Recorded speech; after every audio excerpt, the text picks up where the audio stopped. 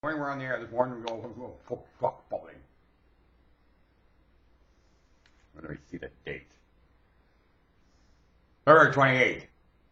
Well, there was 28 days in February. Another month, day this month, is leap year, leap year. Wow, the Roman calendar sure is a dumb idea, isn't it?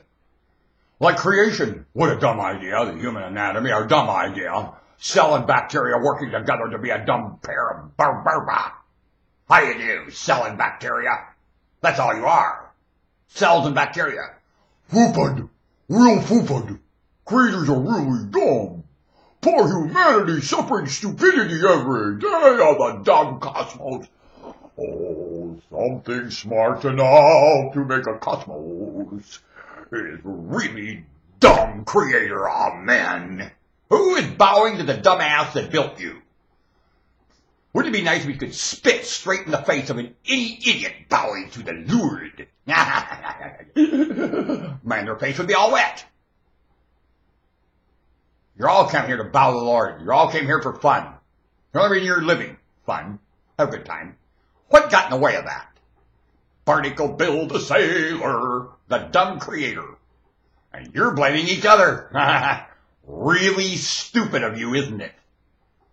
To be angry at one human being or one human anything.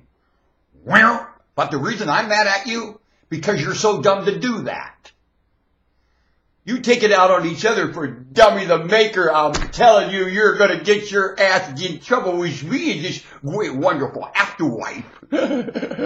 I find you an afterwife. I eat you like tissue inside your maker's dream chamber for ever being angry with anyone here. Yum, yum, yum. Eat 'em up. Yep, I'm done. I'm My mouth drools every time I think of eating you for being angry at any human being. you cause torment for one human in your lifetime. I eat you as a part of your maker when I find that idiot that did this. Lucifer, get out of my way. I'm a human being. Lucifer doesn't have any reason to have a war with the Almighty. A human does. And there I rip the tissue of the stupid thing to shreds and eat it. Digest it. Uh, yum, yum. Eat 'em up. Now you're a part of that. You're part of your maker's dream. Yum, yum, eat 'em up. Do you understand me? Tremble for the afterlife. You will not face this one. I will just eat you. See these teeth? These eat human dreams up in their maker's dream chamber. See this? Gum disease. Like it? Well, it's made for you in the afterlife. Yum, yum. Eat 'em up. Think you've got a prediction of me? Do you? I'm a prediction you know nothing of. Punky. How you do? Norman Woodstock Spalding. Your latest addition to the pointed urge. And your BS you're spreading around here.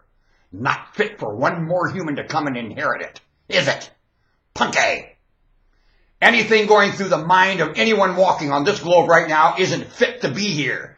Get off the planet. Move. Bye bye. I'll be back.